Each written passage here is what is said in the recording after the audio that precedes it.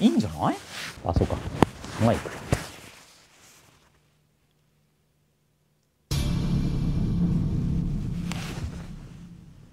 抜けた。うわー エンディング。エンディング撮ってる時に。皆さんこんにちは。石井正則です。今日はちょっと緊急で動画を回しております。というかちょっと思いつきで動画回したいってなっちゃって今回してる感じです。えっと今日ずっと一日作業してたんでこうちょっと作業用エプロンをしたままになってるんですけども今日はですねちょっとワークマンのアイテムに関する動画になります。というのもこれなんです。これ。ワークマンのモンスターパーカーです。これ3年前ぐらいから発売始まって初期2期目3期目と毎年買ってるんですよ。でも正直すごくいいアイテムなんだけどどうもあんまり着る回数減ってるっていうところがありましてで今年が一番来てるんですよ実は。で何がどういけないのかと。なんかいまいち他のアイテム来ちゃうんだよなっていう原因が分かったのでちょっとそのあたりワークマンさんに物申すって形でぜひ次回の改善点として検討してもらいたいという動画を撮影すると同時に自分でそのカスタムやってみちゃおうかなという動画にさせていただこうと思います。で皆様からのチャンネル登録高評価何卒よろしくお願い申し上げます。それでは参りましょう。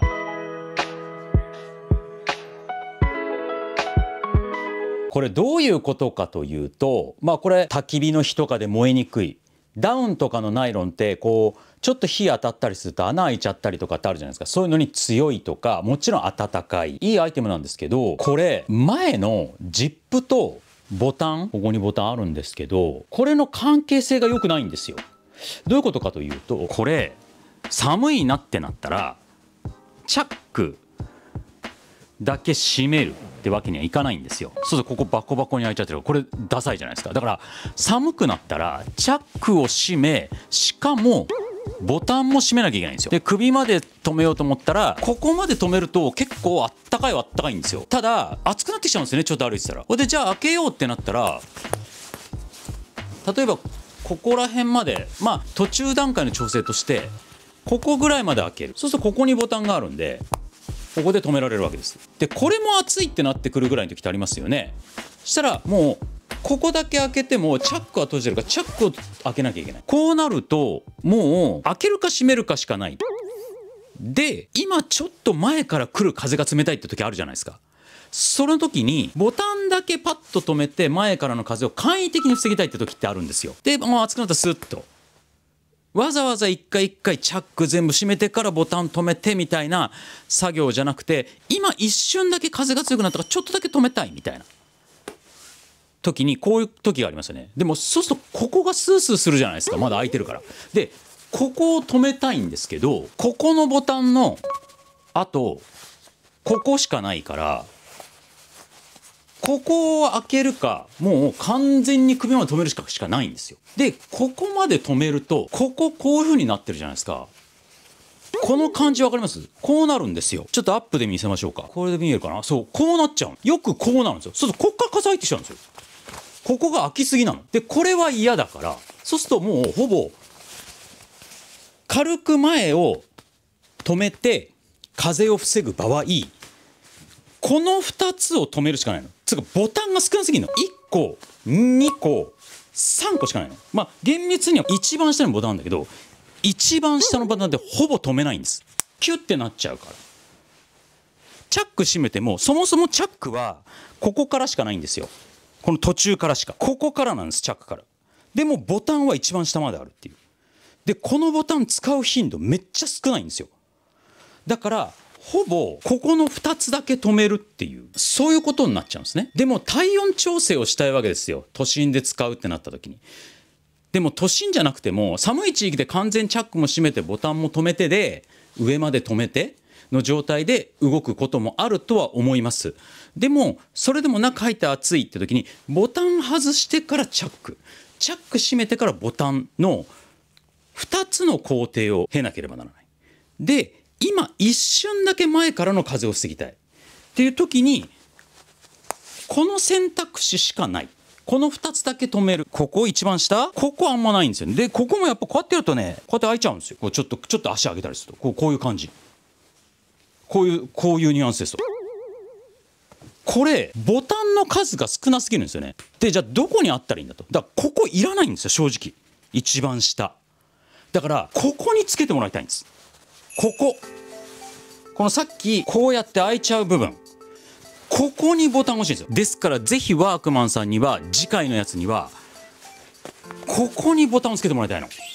ここに1個あればいいの。これがすごく大きいなと思ってるんですよ。ほらもうここの今ここをこうやって押さえるだけでここの開きかっこよくないですか？なんか一番下の上までこうやってやって止まってるともう結構極寒の感じの場所以外でこんな閉めないだろっていう感じじゃないですか。でもここ開けちゃうともう今は一気にここまで開いちゃうんですよ。これ特に自転車とか乗ってる時前のからの風を防ぎたいけどボタンだけ止めておきたいんだけどここ閉めらんないからここからスースー風入ってきちゃうんですよ。それが今ここが止まっここ1個ボタン止めてくれるだけでここはちょっと首ゆとりあると。この開き方もなんか自然で良くないですか？この感じのがいいですよね絶対。首もゆとりあるし。ここにボタンつけてもらいたいんですよ。ここのね作りがフリースっぽくなってたりとかもうとにかくその顎に当たる部分が冷たい金具が当たらないようにできてたりとかこすごい優秀がゆえにこれをぜひワークマンさんに次回のモンスターパーカーにはお願いしたい。っていうお話と同時にで今年のこの色気に入ってんですよ。ちょっとそのグレージュっぽい感じというかすごいいい色だなと思っててこれ自体は気に入ってるんですよすごく。じゃあこれは捨てて来年もこの色出たら来年ここのボタンついて買うんですか？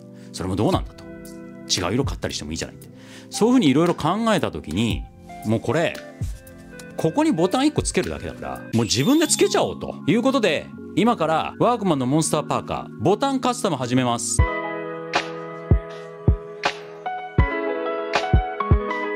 さあということで作業していきたいと思います、まあ、画面上見てもらうと分かるんですけどボタンがこう並んでますね。ここが止まるけど来ててここまで止めるとこうこう動いた時の方もこうもう今ちょっとこうやってた時に分かりますよね。ここ開いちゃうんですよ要するに。こうこうなっちゃう。だからここを止めたいんですよ。そしたらここまで無理して首のこの顎にかかっちゃうところ止めなくてもここら辺まで止めたらほらこういう感じで首元ゆとりありつつしっかり前からの風を防いでくれる。多分この首顎ギリギリのこのライン？このラインまで持ってきちゃうと多分きつくなっちゃうと思うんでこの辺りがいいのかなっていう風に考えています。じゃあやっていきましょう。まずこのボタンの距離測んなきゃですよね。でここにボタンが止まればここの3点になる。ね？うんいいじゃない。よし。じゃあここに印つけていきます。ねよく昔縫い物もやってたんでこういうのもありますうちには。印つけます。分かりにくい？肉眼だと結構わかるんですけどここに中心点がつきました。ここですね。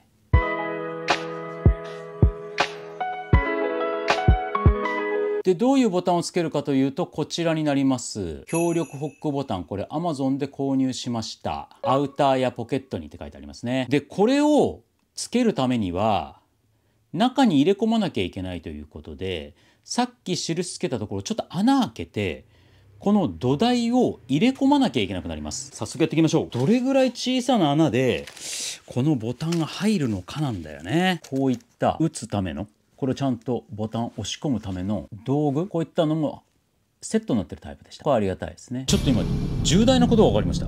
これねタイプの違うボタンでした。なんかこここら辺のやつよりもっとがっちりくっつくタイプのホックがこう太いタイプ。こっちこのポチッとしたやつなんですけどなんかもっとがっつりしたやつでした。まあいいか。ここがしっかり止まった方がいいもんね。まあそれも含めてなんか個性的でいいじゃない。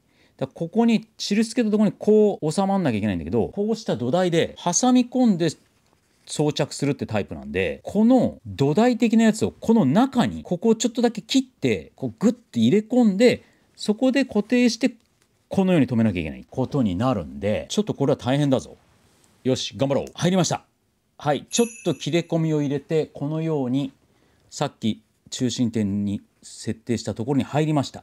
でここにこれを入れてここをこの付属の器具で取り付けるという形になります。やりましょう。ここにこうして下の土台をちゃんとあれしてちょっと軽くやってみましょうまず。もうちょっと強く打たなきゃダメか？だかこれ要するにここを潰すってことだよね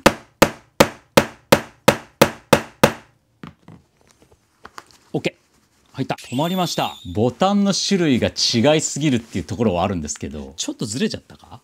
大丈夫かな？あでもとりあえず止まりました。おおうまくいったね。止まった止まった。あやばい！見て。強く打ちすぎて反対側に穴開いちゃった。あよく見たらこっち裏から打ってる。内側じゃなかったんだ。あそっか。こっちはここから打ってよかったんだ。あミスったな。なるほどな。まあでもとりあえずボタンついたからいっか。あとは止める側よ。この位置がずれずにちゃんとここについてくれればもうバッチリなのよ。ここはすごい慎重に測っていかなきゃいけないよ。ってね。これは難しいぜ。いや面白いなでも。よしここしっかり測ろう。まずここだよね。ここの距離。中心点で行った方がいいか。まあもう大体で行くしかねえよなもうな。失敗した失敗したしょうがないもうおし中心点で言うとえー、11センチだちょうど。ここから11センチ。ここに印をつけます。これこそ中に入れないとここの土台の部分が外に出ちゃいけないからここの内側で切ってやっぱり中に入れ込んでってやんなきゃいけない。まずここをハサミでチョキチョキする。このチョキチョキは緊張するんだな。チョキチョキで裏側を切ったりとかがないようにしないといけないんだよ。ギリギリの大きさでいきたいもんねなるべくね。入るギリギリの大きさのあんまり生地に負担があい痛い痛い痛い OK 入りましたイエーイ。ほら見てこれ完璧じゃない？ほんのちょっと切ってこうやっていけたからほら。ほらそれでこうです。ここでこうやってやってそんでまたこれをカツカツ打てば止まると。そしたらもう完成ですよ。よし。やっていくぞ、うん、これがずれないように気をつけなきゃいけないんで一番そこが問題視されるとこだね。よし今このまま今このままいっちゃおう。これずれてない今。ずれてないね。平気ね。平気ね。平気だね。いけてるね。大丈夫ね。このままいくよ。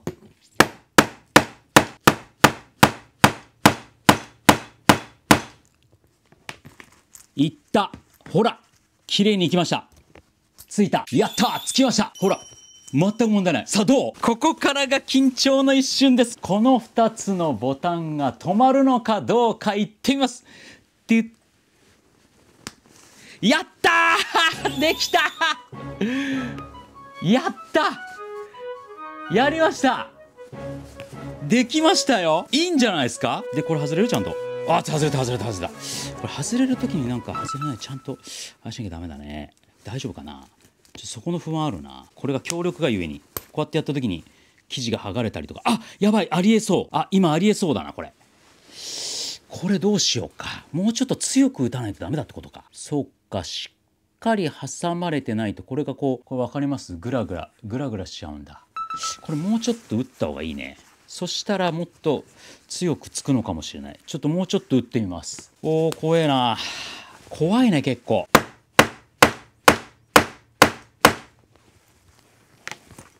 あ強く入った強く入った。うん。あもうずれないわ。あ大丈夫ですね。やっぱりやっぱ強めに打たないとダメなんだ。うん。強めに打たないとダメですね。こっちももうちょっと強く打っといた方がいいか。あ少し斜めに入っちゃったのか？もしかして。あその可能性ありそうだな。ってことは別の方向からちょっとこうコツコツ打ったらでもなんかもっと奥にグッと入る可能性あるな。同じ向きから打ってるからあなるほど。これはだいぶずれたみたいです。はい。あだいぶずれてます。もうこうなって外せないもんね。しっかりくっついちゃってもんな。うん。ちょっとずれたみたいです。こうこれがピタッとまっすぐ合わさらずにちょっと斜めに入ってしまったがゆえにこっちの上のベースがちょっとこう打ってる時にこうこうってこうずれちゃったみたいでそれそこまま止まっちゃってるからちょっとうまくいってない感じ。ただもうがっちり止まってるんで外れることはないと思うんですけどここがねもうちょっとこれがこっちほんの数ミリですけどね。こっちに行ってもらいたかったのがずれ込んだっていう感じです。でもうまくいったぞ。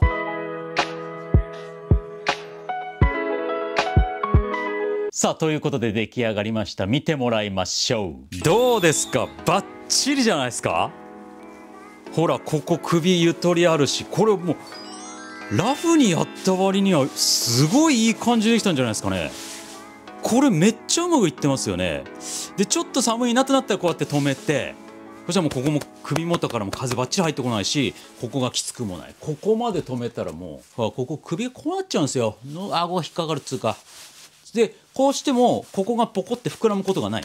ここ止めてるから。ほらバッチリだよ。だからチャックを閉めなくてもすぐにあ寒いなと思ったらこういう風な形で防寒できる。で熱くなったら開ける。これができるようになりました。この3つ止めるだけで随分前からの風は防いでくれる。でも例えば自転車こいでる時にちょっとこれだと熱くなってきたなってなったらもうパッと信号止まった時とかにパッと開ければこう涼しい風も入ってくるしでまた寒くなればここ止めてもいいし。でそこまでじゃないよって時は今までのところ今までの2箇所だけ止めればほらここは開いててある程度は風入ってくるけど前からの風はここぐらいは防いでくれる。ボディの。これすげえうまくいったんじゃない？でちょっと寒くなってきたらこれをこうやってやって。こうやって止めれば。ほら完璧よ。めっちゃいいじゃん。あこれめっちゃいい。この状態がまずいいもんね。おおやった。ちょっと思った以上にうまくいきましたよ。ちょっと種類が違うのが1個入ってるっていう感じに見えちゃってますよね。こういう感じ。でもそんな気になんないよね。なんか一箇所だけボタンがこう違うっていうのもなんかアクセントと考えてもいいかもしれないもんね。これこれこれあちょっと切れ込み入れたとこは見えてきてる？あ切れ込み入れたとこ見えてきちゃってる。やばい。もしかしたらあれだな。布用ボンドとかをここに垂らしてちょっとこう切れ込み入れたところからはみ出てこないようにした方がいいかもしんないね。そっか。そう考えると去年買った方の同じモンスターパークあるんですよ。そっちでやって今メインで来てるこれに後でもう一回やった方が反省点見えてもっと綺麗にやれたのかもしんないそうかそういった考え方もあったな。まあでも確実に使えるものにはなったんでもうこれは成功と言っていいんじゃないでしょうか。というか本当ワークマンさんここにボタンついたバージョン出してください。もうそれは全てです。そしたらもうこんな苦労はしなくていいわけですから。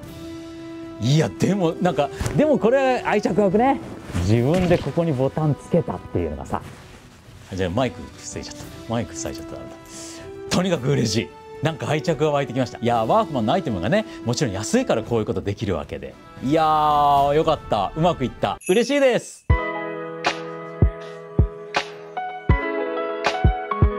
ということで今回の動画も最後までご視聴いただきましてありがとうございました。チャンネル登録高評価何卒よろしくお願い申し上げます。それではまた次回の配信でお会いしましょう。お相手は石井正則でした。いやいいんじゃない？いいんじゃない？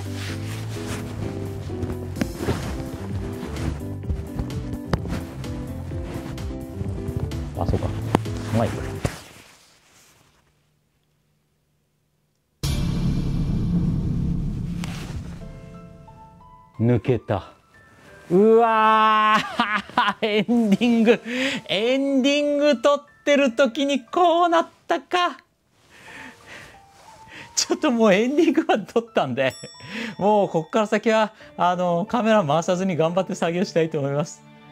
えー、後日なんかどっかでお知らせするかもしれないです。やっぱ抜けちゃうんだ。だからそうか。OK わかりました。頑張ります。ではまた。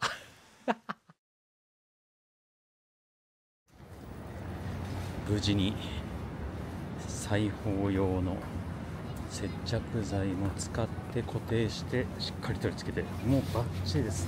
あったかい。ほらね。こうなってて風が寒かったのが、ね、暑くなったらこれ取ればいいわけで。それで